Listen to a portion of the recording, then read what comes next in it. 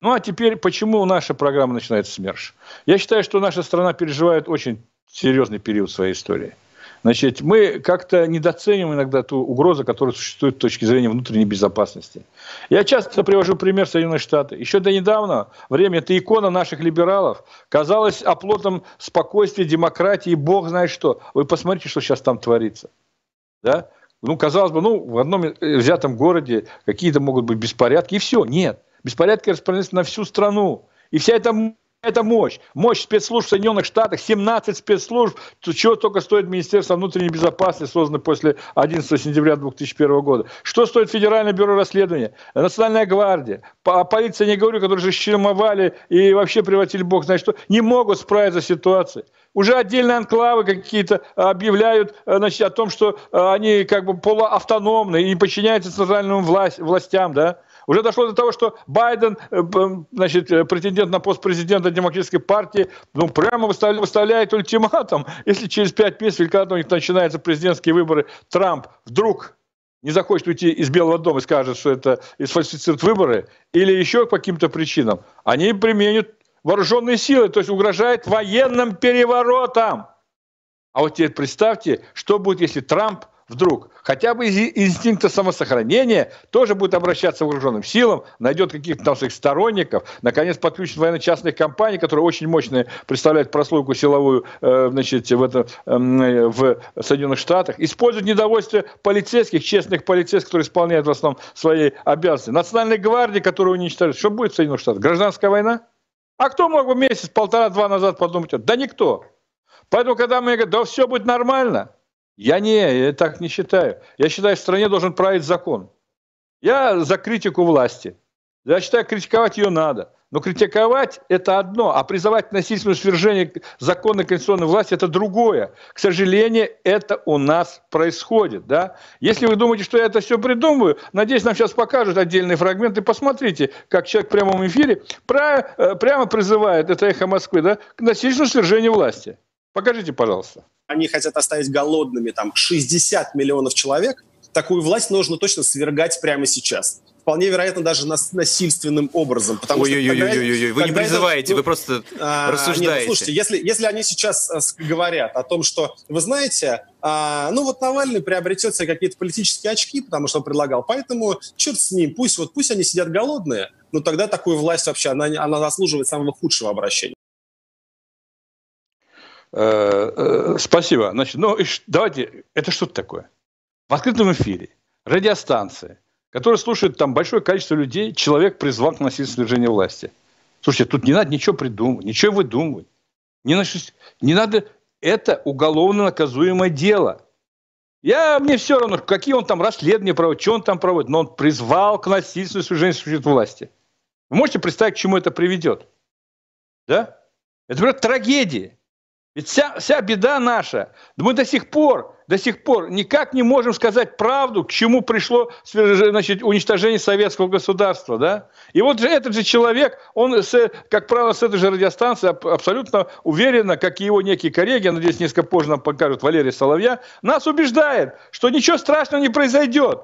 Ну, снесем власть так, да? Ну, там, может быть, да, покажите, покажите, вот покажите, пожалуйста, как он, мы, этот деятель думает, что у нас может произойти. Которую вы всегда слышите от власти, от провластных агитаторов в адрес любой революции.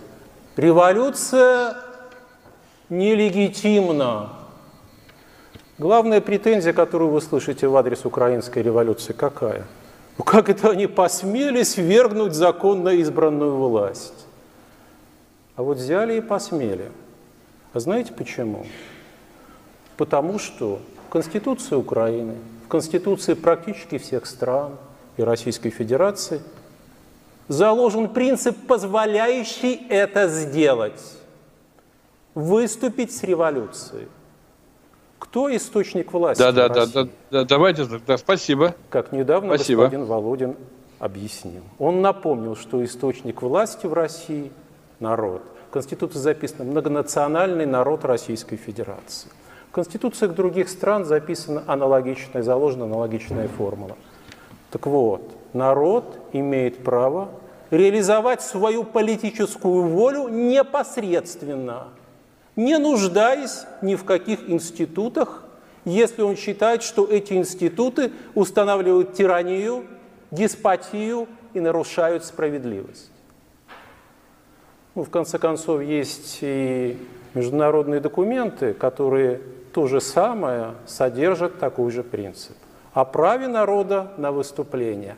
В этом смысле, если источником власти является народ, любая революция легитимна.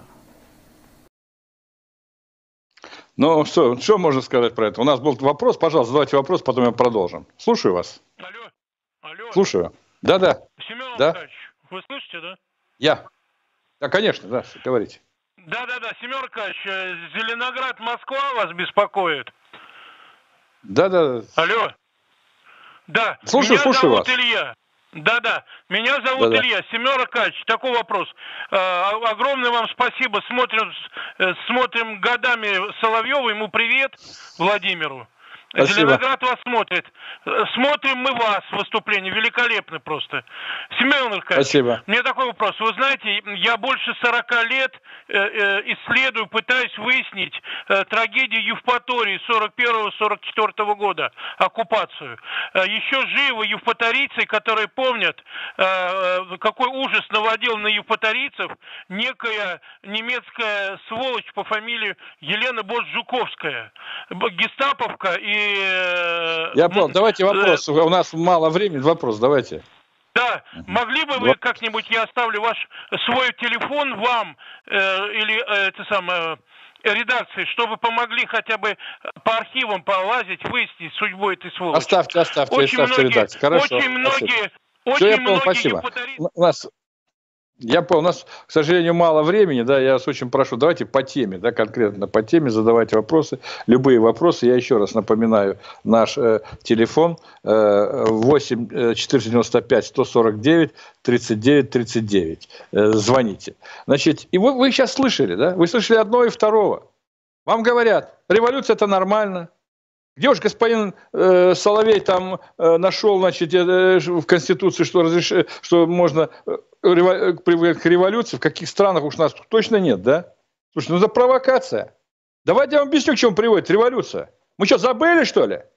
Вот вам эти два деятеля внушают, что надо к революции прийти и так далее. Революция 17 -го года. Февраль 17 -го года, октябрь 17 -го года и после пережив гражданскую войну. Только по официальным данным – хотя эти данные, как всегда, занижены. С периода с 1918 года по 1923 года было убито в ходе гражданской войны, как последствия революции 17 года, свыше 11 миллионов человек. 3 миллиона. 3 миллиона были беженцами. На самом деле гражданская война не кончилась с 23 года. Средняя Азия продолжалась до конца 30-х годов. Во многих регионах э, страны также продолжалась. То есть речь идет о десятках миллионов убиенных. Это что? Это вот тоже там нас внушали все эти революционеры в феврале или в октябре 17 года, что все будет хорошо, значит, Божье царство, значит, воцарится на земле, и в России все шикарно заживут. Зажили. Я уж не говорю о том, что страна-победитель, которая потеряла миллион семьсот тысяч человек в Первой мировой войны, оказалась в качестве побежденной. То есть все плоды ее отдали Англии и Франции, которые считались являлись единственными побежденными. И даже часть своих, значит, то, что должно было отойти ей или даже отдали значит, стране, побежденной стране Турции. Слушайте, вот вам революция. Следствие революции были репрессии 30-х годов, как следствие борьбы за власть. Когда приходят эти Навальный, Соловьи и так далее власть, потом они начинают делить между собой власть. Вот это самое произошло в 20-х и особенно в 30-х годах, после чего были вот эти репрессии, которые очень сильно отразились на нашей экономике, стабильности, да и на начальном периоде начала Великой Отечественной войны. Это положительный опыт. Это нужна революция. Август 91 -го года. Мы до сих пор не оценили, что там произошло. Нам на полном серьезе один, и второй, третий и так далее убеждают, что это была бархатная революция. Я уже не хочу просить, чтобы еще раз ставили слова некоторых из этих деятелей. Какая она была бархатная революция? Мы до сих пор, у нас нет официальных документов, где бы было показано та трагедия, которая постигла весь советский народ. А Советский Союз – это большая великая Россия. По моим подсчетам, приблизительно погибло от 250 до 300 тысяч человек, было убито в разных различных значит, э, братоубийственных войнах. Это страшная цифра. Это страшная цифра. Было потеряно. Сколько было потеряно территории? Одна треть. Это что вам, ливерная колбаса, что ли, одна треть? Была потеряна огромная часть территории Советского Союза, которые сейчас взяли под свой контроль ту же Украину, превратив ее в протекторат свой, Соединенные Штаты Америки и многие другие государства ныне делят то, что было вложено огромный труд э, российских людей, русских людей во время Российской империи, советских людей. Огромное количество было потеряно промышленных предприятий, военно-промышленного комплекса. Обороноспособность рухнула рухнуло на порядок. Я, на моих глазах все это происходило. Уничтожение техники, выводимой из, значит, э, с, восточной, э, с Восточной Европы. Да? Роспуск чистое поле поселения солдат. Ужас, ужас, ужасов. Да?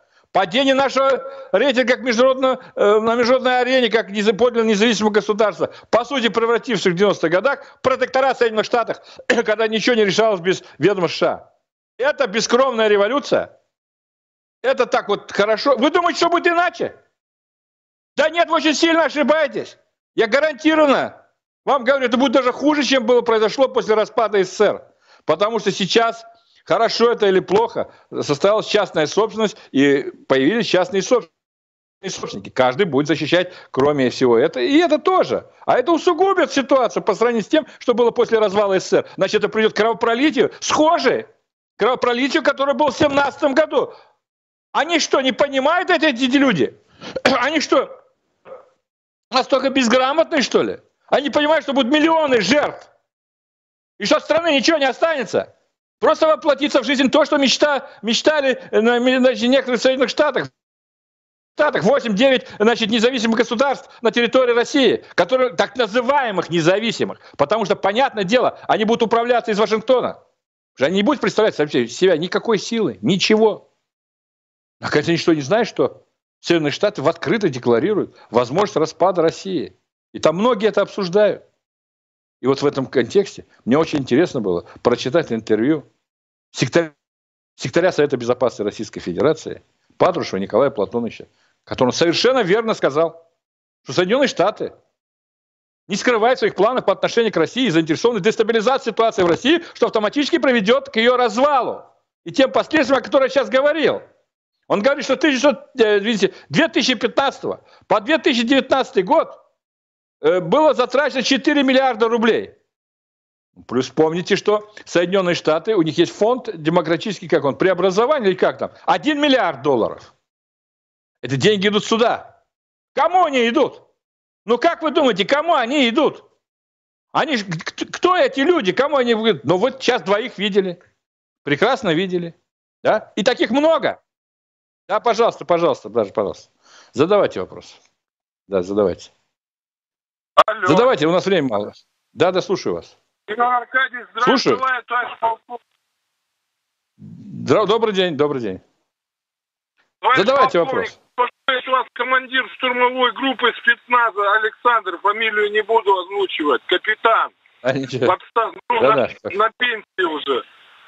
Семен Аркадьевич, это невыносимо. Я вам говорю, вчера вот, э, не вчера, а в прошлом году вот это, когда оппозиция выходила, когда били наших сотрудников туда. Почему власть не реагирует на вот это все? Вот у меня дед, да, герой Советского Союза, воевал, всю войну прошел, тоже танкист. Вот, когда этот беспредел? Или точно власть хочет гражданской войны какой-то, чтобы была? Против этой оппозиции, против этих Навальнят, против этих Волковых, чтобы их доставали и душили. Значит, отвечая на наш вопрос. Значит, э, первое. И это, во-первых, давайте называть их не оппозицией. А никакая оппозиция, я еще раз говорю. Оппозиция – это та, те люди, которые критикуют власть, но при этом предлагают что-то альтернативное с точки зрения улучшения благосостояния людей, э, укрепления внутренней внешней безопасности. Это есть оппозиция. А это не оппозиция. Они хотят разрушить страну. Ну какая же она оппозиция-то? Извините меня за откровение. Это власовцы. Вот все больше и чаще используется это слово. Это власовцы, власовцы, власовцы. Тот же Навальный, тем более, вы знаете, недавно оскорбил ветерана Великой Отечественной войны, да? Ну какая это оппозиция к чертовой матери?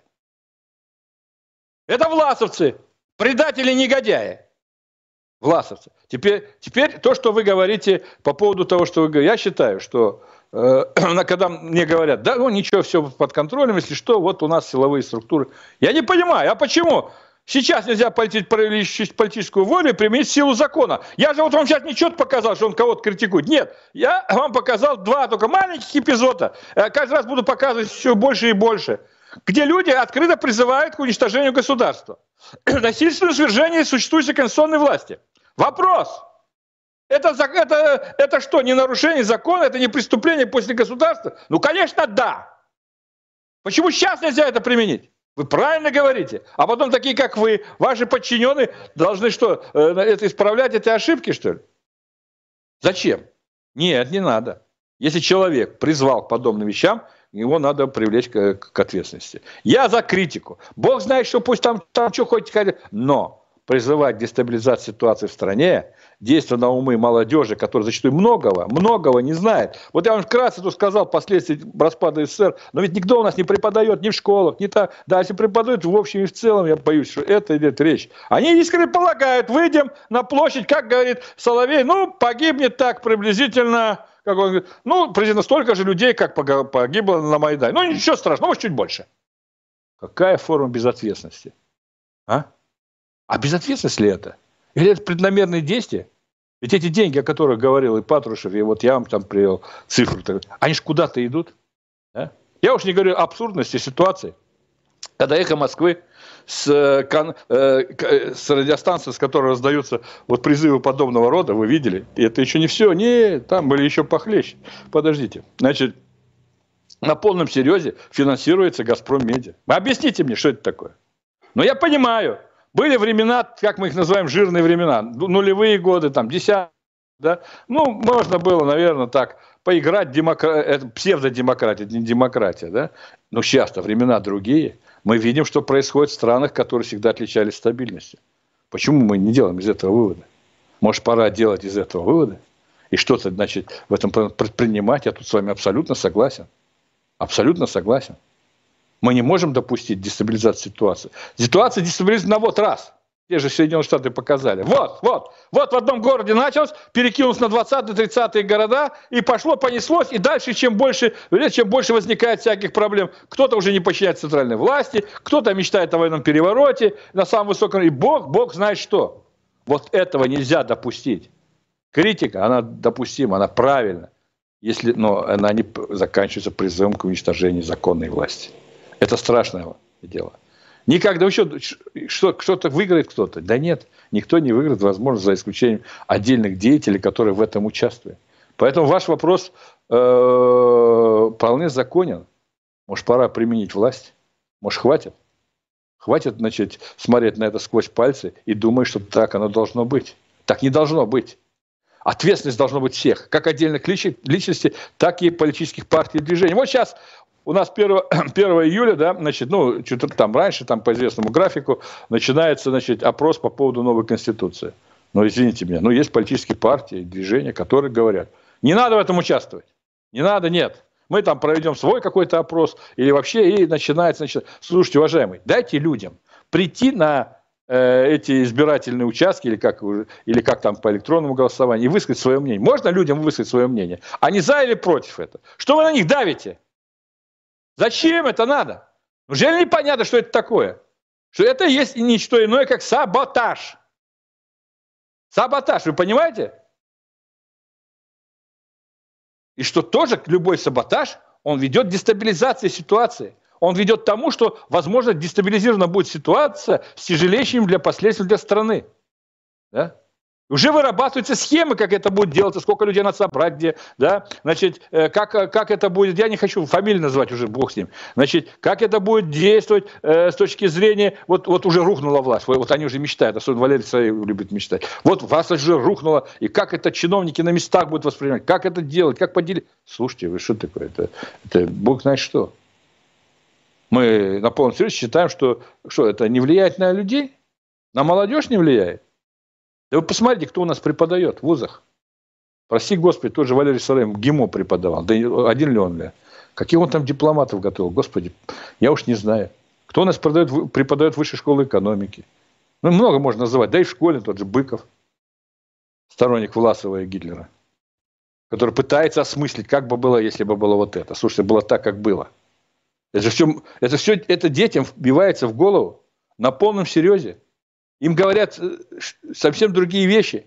Старшее поколение имеет большинство иммунитет, но они не имеют. А именно их и рассматривают в качестве ударной силы своеобразных хунвейбинов, которые можно будет вывести на площадь, и чтобы, используя их, затем значит, совершить нечто, которое приведет к так называемой революции. Это нормально? Почему же мы смотрим на это спокойно? Да? Да, пожалуйста. Говорите. Алло. Алло, Семен Да, да, говорите, говорите. Я. Да, добрый вечер. Вас, вас в Тюмени беспокоят. Да, да, давайте, Очень спасибо. рад вас видеть. Да, очень спасибо. рад вас видеть, очень рад вас всегда слышать. Огромное вам спасибо. У меня какой вопрос к вам? Вот посмотрите, у нас же президент, во-первых, я патриот своей страны, ну, да большинство спортсменов, они патриоты своей страны. Вот, и все возмущаются тем, что, ну, президент, как он на это все смотрит, когда нашу страну там унижают всячески, типа Навального, всяких его там приспешников, и ничего не делается. Уже нормальные люди действительно могут восстать, этих всех гнид к ногтю прижать. Сколько можно терпеть их? Сколько можно терпеть? Потому что я не могу. Спасибо, У меня все мое, все, все мое поколение, все орденоносы, бабушки, дедушки, все воевали. У меня бабушка дошла до Берлина, еще воевала с японцами. Вот представляете, мое отношение к этим гнидам какое должно быть? Я служил, я служил в полку, показательный гвардейский, прокуровский, краснознаменный, орденок Кутузова, Александра Невского, истребительный полк Емельянского комсомола в Кубинке. Вот представляете, как я должен реагировать на этих, на этих гнид Навальных и всех его приспешников? Почему президент ничего не делает? Ну, нормальный же народ поднимется и я бошки понял. начнет отрывать.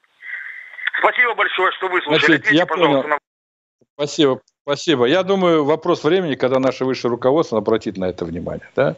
Вы знаете госпожу Латынину с этой эхо Москвы. Э, Следственный комитет занялся ей да, в контексте распространения фейков по поводу коронавируса. Ну, лиха беда начала. Я думаю, вот нашу передачу в том числе смотрят представители Следственного комитета, Генеральной прокуратуры. Возможно, они не слышали это выступление Навального, Соловья и так далее. Мы каждый раз будем показывать эти выступления, внимательно следить за этим делом. Может быть, пора и этих деятелей, как говорится, пригласить Следственный комитет или Генеральную прокуратуру, да, а соответствующие радиостанции или схожие структурам сделать, э, сделать соответствующие выводы тем структурам, которые отвечают за правильно, что называется, использование информационного поля. Поэтому мы решили об этом говорить. Я абсолютно уверен, что такие люди, как вы, который звонил вот до вас, люди, значит, они, в общем-то, они обеспокоены. Они, они хотят в стабильной стране жить. Извините меня за откровенность. Конечно, коронавирус нанес серьезный ущерб к экономике нашей страны, как и, собственно, экономикам других государств. Да, нам надо будет восстанавливаться, кто же говорит-то нет. Да, у нас будет больше безработицы, кто же говорит нет. Но скажите, как это все можно восстановить, если будет нестабильность? Вы можете мне объяснить? Если все рухнет, как это можно будет восстановить? Кто-то может это объяснить?